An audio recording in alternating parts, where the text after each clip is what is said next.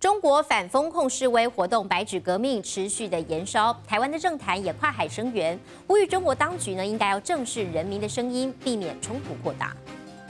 谴责中共误暴力镇压，拿出白纸，国内政坛跨海声援中国大陆“白纸革命”。中共严格的封控措施，却发生乌鲁木齐不幸悲剧，民众怒火再也忍不住走上街头。中共政府必须立即停止对反封控的中国民众进行的暴力。逮捕迫害，但看到这一幕，六四民运领袖王丹忧心忡忡，抗议活动遍地开花，警民冲突也越演越烈。疫情爆发之地武汉，二十八号更传出有警察对民众开枪。如果这个抗争继续在中国广泛展开的话，那么我相信中共当局还是会用更强硬的武力。去进行暴力镇压，就怕六四屠城的暴力镇压、血腥冲突再度重演。王丹向国际社会喊话，共同关切这个自一九八九年之后最大规模的群众抗议事件，而有了来自外界的压力，才能遏制中共。对于面对今次这次的白纸革命的时候，心情其实是非常复杂的。我们终有一天可以成为这个追求民主路上的一个伙伴。参与社会运动的香港青年同样心有戚戚焉，勇敢站出来替反抗中共高压统治、反对风控的民众发声。而正逢台湾主会大选落幕，一向抗中保台的民进党却惨败。王丹则警告，二零二四年选战如果输了，台湾真的就危险了。要怎么重视中国因素可能给台湾带来的各种影响？那么，我希望台湾人民能拿出更大的智慧和勇气。中国大陆民众抵抗集权，不为政府走上街头，大声表达诉求。我们台湾当然也不能置身事外。接环球日新台报道。才开开心心当选连任，没有想到两个小时之后竟然变成了落选，真的是情何以堪。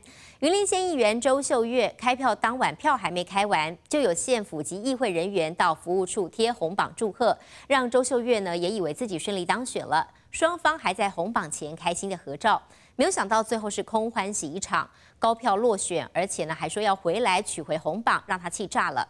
他质疑选举黑箱作业，将会提当选无效诉讼，要求重新验票。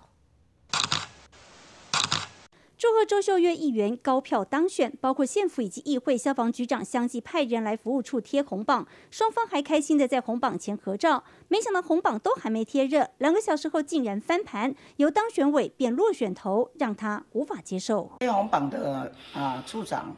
说是县府根据县委会给他的资料，那这个情何以堪？你有可能动手吗？两个多小时很好动手啊。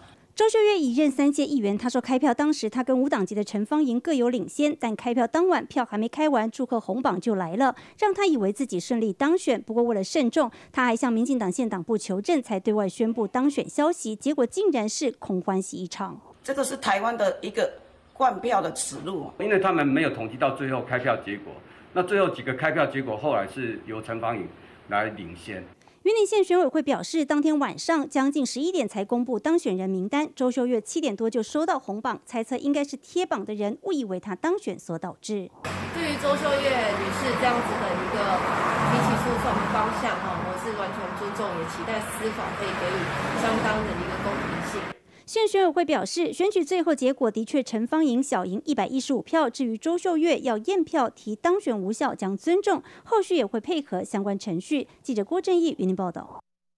也是选举后续引发的争议，来看到这是国民党屏东县长候选人苏清泉以一万多票的差距落选。苏清泉质疑计票不公，而就有网友贴出影片了，工作人员整票，唱票人员快速唱票，并没有向民众来展示，也引发了议论。而屏东选委会呢，就表示说，工作人员整票之后唱票是作业上的瑕疵，但并没有涉及不法。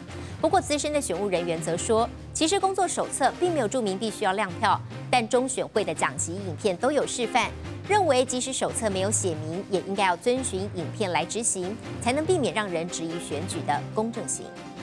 三号做出名票，三号做出名票。人员快速唱票，仔细看过程，并没有向民众展示。国民党屏东县长候选人苏清泉以一万多票差距落选，质疑计票不公。就有网友抛出这段影片，短短三十六秒画面，唱票十八次，不但快速唱票没有亮票，而且还是先整票后唱票，引发热议。有人说工作人员便宜行事，有人质疑开票不合程序。整票完了以后呢，就开票。那开票的顺序的话，大家在网络上看起来很明显的，就是有跟我们自己的认知上面是不一样的。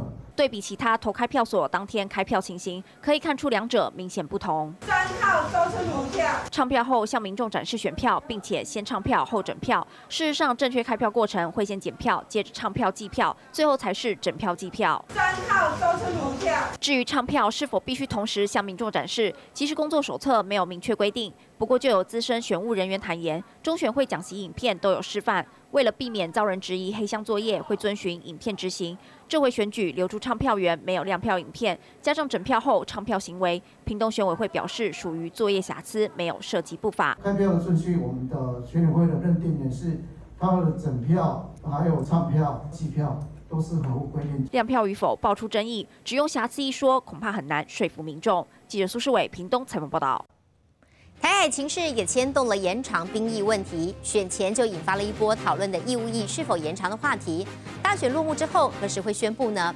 对此，国防部表示，兵役问题与选举无关。不过，何时要实施，国防部则回应说，相关的程序还没有完成，因此对外没有详细的内容可以公布。另外，针对《华尔街日报》指出，美方对台军售因为乌俄战争的关系导致持续的延宕，国防部呢也澄清说，都按照既定时程在进行当中。国防部发布二零二三年形象月历，要传达国军不分昼夜守护家园。不过两岸情势紧张，有消息指出，国防部有意延长兵役，搭上刚落幕的九合一大选，就有绿营议员认为，台海情势加上延长兵役，间接导致民进党败选。选举并不是呃在规划这项政策里面啊，国防部考量的一个重点。国防部澄清，选举并不会影响兵役制度，不过也传出延长兵役启动关键将落在十二月中旬。国防部话说得很保守，这些相关工作都需要去透过所有部跨部会的协调，那么取得共识以后啊，才能够有一个相关的结果。那么因为这个案子的相关行政程序啊还没有完成，那么目前啊并没有详细的。呃，内容啊，还可以提供给大家。而据《华尔街日报》报道，美国持续向乌克兰提供大批军援对抗俄罗斯，导致美方对台军售延迟交货情况恶化，总值已经累积到一百八十七亿美元未交件，包含早在二零一五年的两百零八套标枪反坦克武器，以及两百一十五枚刺针防空飞弹，到现在都还没复运。国军不会以这些影响当做一个借口。整体来说，目前所有美方对我们的军售。都按照程序进行。那么至于这些执行当中的案子，它的细节进度，那么都属于双方的一个机密。国防部以机密问题驳斥军售延宕，不过台海形势摆在眼前，国人也绷紧神经。记者费鸿生博台北上报道。